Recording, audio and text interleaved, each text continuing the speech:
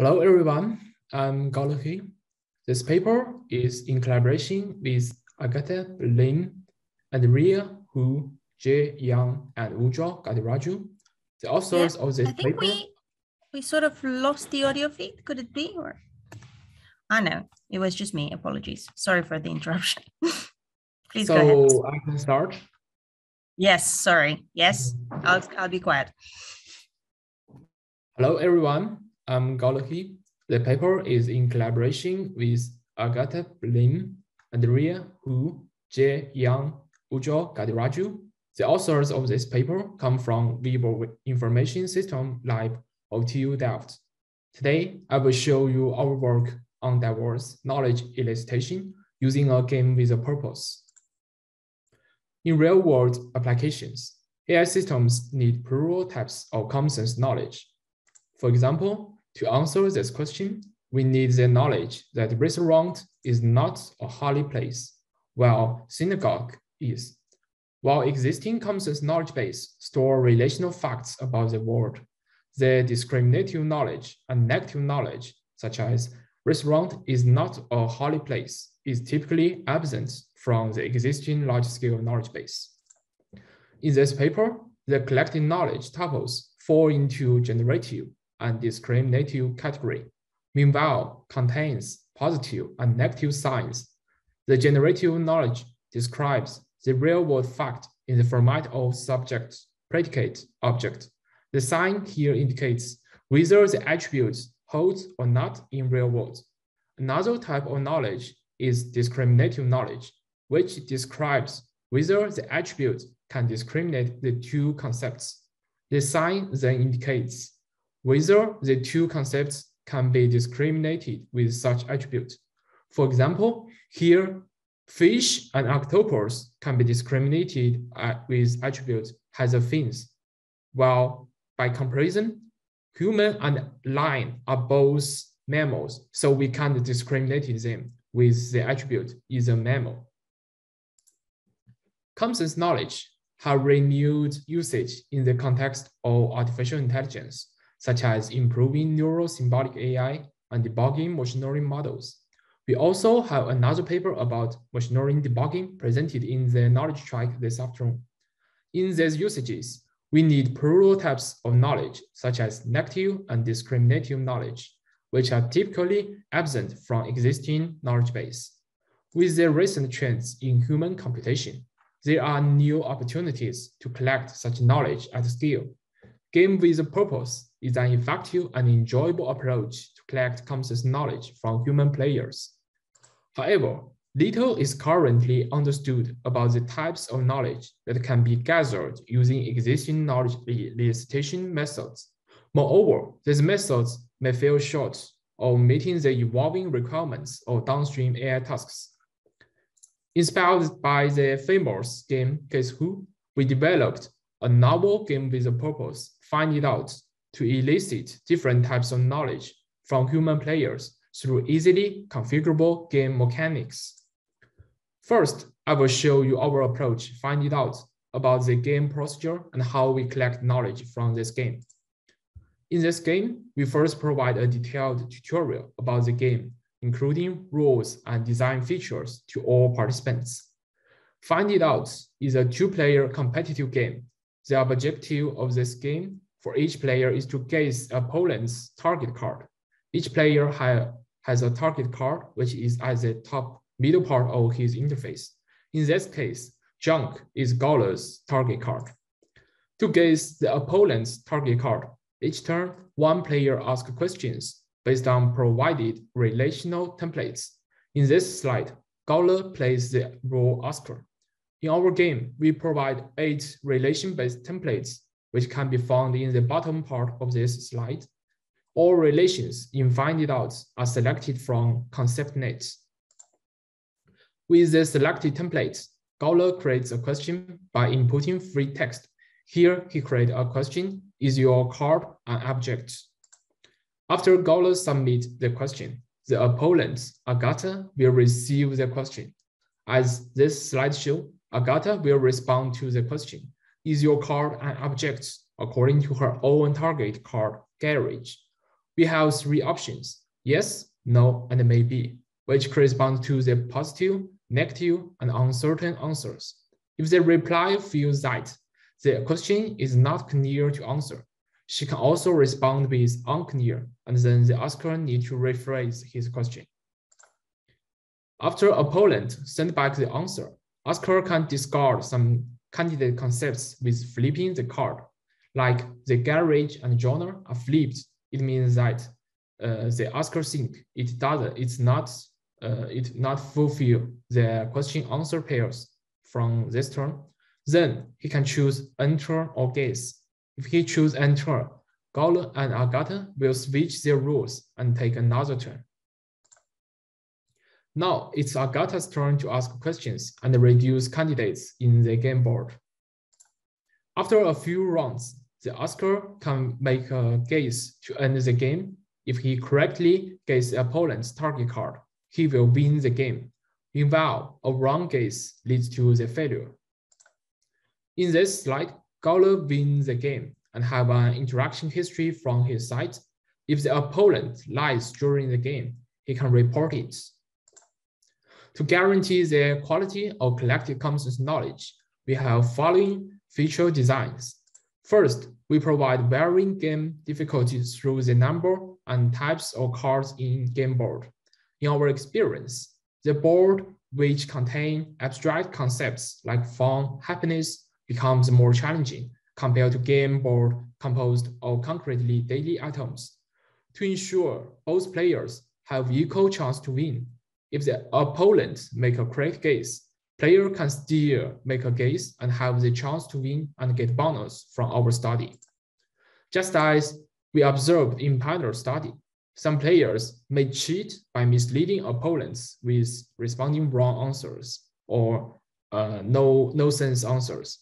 After the game, each player can find such cheating behaviors with reporting mistakes. To help players understand each concept, we provide definitions about each concept from WordNet when they hang their mouse on each card. We also employ taboo words to ensure that the questions asked by the players are not too simple and allow to extract useful knowledge.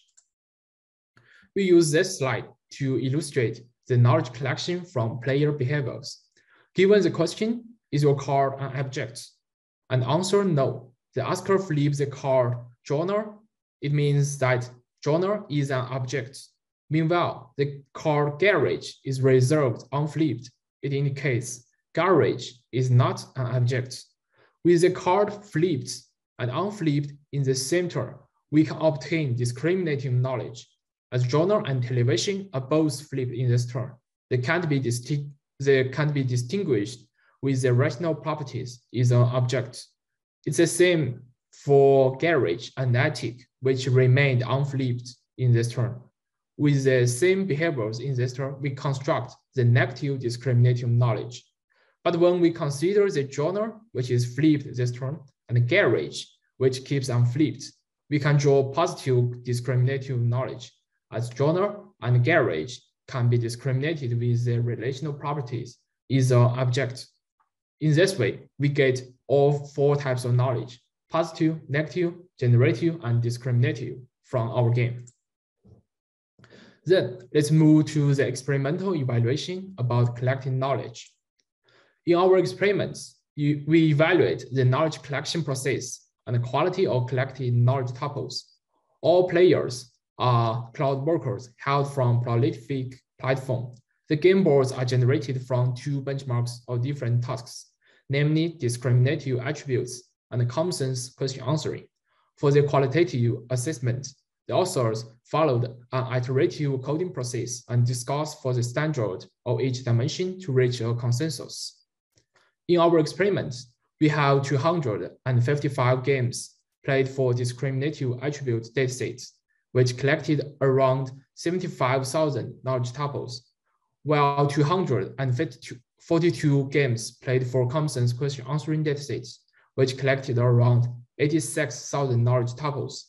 On average, easy games lasted around six minutes, and players spent around four turns for each easy game. Similarly, difficult games lasted 60.5 minutes and players spent around six turns for each difficult game. On average, the throughput is 13.9 tuples per minute per game for Find It Out, which is 10 times more than existing methods verbosity. We also observe that difficult games correspond to a higher utility for the discriminative attribute datasets, while easy games correspond to a higher utility for the common sense question answering task. For more details about knowledge collection evaluation, please refer to our paper. Based on our findings from player experience questionnaire, the main functionalities of Find It Out were well understood and appreciated by players. On average, players rated the functional consequence, which indicates the immediate experience as a direct result of game design choice, with about one on a scale of minus three to three. This highly rated functional sequence translated into highly rated psychosocial consequence as well, with an average rating per dimension always above zero. This shows that Find It Out was enjoyed by players, piqued their curiosity by prompting them to think of the topics they probably don't typically think of. To assess the quality of collecting knowledge tuples, we defined seven dimensions which fall into the category of correctness and diversity. Zooming into every dimension, we find that most generative tuples collected are meaningful, correct, and unbiased. And we also find the collected knowledge tuples have a relatively high tacit and specific knowledge, but also a small ratio of typical knowledge. These findings confirm that Find It Out allow for externalizing the tacit knowledge that is typically not found in existing knowledge base. To assess the usefulness of knowledge collected for discriminative attribute datasets, we calculated the coverage of reference triples to create the game boards. In our experiment, 28.8% of triples are covered. Meanwhile, all potential concept pairs of the discriminative attribute datasets are covered, which goes beyond the scope of original datasets. For the common sense question answering dataset, we manually annotated the relevance and usefulness for each question. For each question, we retrieve top five relevant knowledge tuples generated with semantic similarity. The results show that more than half of choice in each question can find relevant knowledge tuples, and around 10% choice can find useful knowledge tuples, which can directly confirm the answer or discard a distraction term. In conclusion, many this work have following contributions. First, we designed a novel configurable game with a purpose find it out, which can collect broad common sense knowledge at scale. Secondly, we provide a structured set of dimensions for knowledge characterization. Thirdly, we conduct an empirical study about the performance of Find It Out based on crowd workers. Furthermore, we conduct qualitative study of collecting knowledge tuples, and quantitative study of the efficiency of knowledge collection process. In the future, we will also consider first, improve the quality of collecting knowledge with post-processing, such as redundancy, and second, the generation of game boards largely affect their collecting knowledge.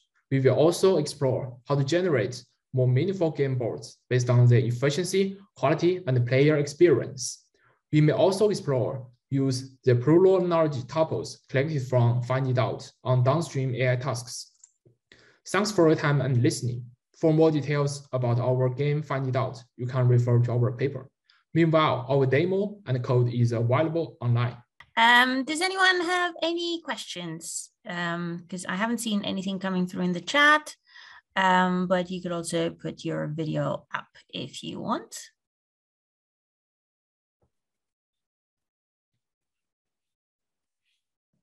Alex, I don't know if you're trying to say something or if you're just uh, getting ready. um, okay, let me ask you a few things because this is very interesting work, and and and I I, I used to do um, quite a bit of work on on on GWAP for for for a while. So um, well, how did you recruit the players? Uh, so plans. No, no. How did you recruit the players? Oh, uh, actually, uh, recruit the players from prolific platform and say each each game we need to involve two players matched in a game and play it. And for the whole procedure, we ask each players must play say three easy games and two difficult games. So from each player, we obtain five game, yeah, five game rounds. Mm-hmm. Okay, good. And um, why prolific? Uh, actually, uh, it's according to say my uh, collaborators' experience. They find that the pre- prolific workers say are more pay more attention to the user study and they work well. So we chose this platform. Mm-hmm. Interesting. And why didn't you just run the task on Prolific rather than putting all these resources into gamifying this the the, the task and and and, and design it um and that way? Yeah, actually, uh, it's also a motivation from our side because we find say like we know that traditional say knowledge elicitation is from maybe say provide text and we ask say crowd workers maybe uh, to confirm or extract knowledge from this text.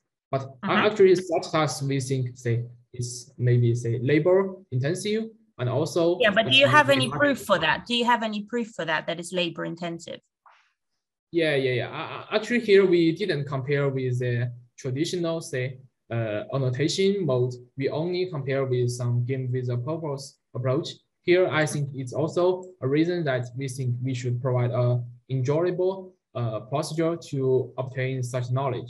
And hmm. actually, mm. we find that in this competitive game and with the game boards, the players enjoy the game. Meanwhile, uh, they provide, uh, say, a very okay. good efficiency in generating this knowledge.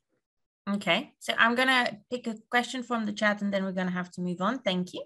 Uh, so Jerome is asking, in what sense can it be said that diverse knowledge is collected? Is it only the discriminative negative dimension or something else? You could comment yeah. on that and then we will yeah. move on. Yeah, actually we provide, say, different dimensions in qualitative evaluation about the collecting knowledge tuples the correctness it has validity, truth, and meanings. And the diversity we have bias, typicality, specificity, and tacitness. We try to evaluate based on these dimensions.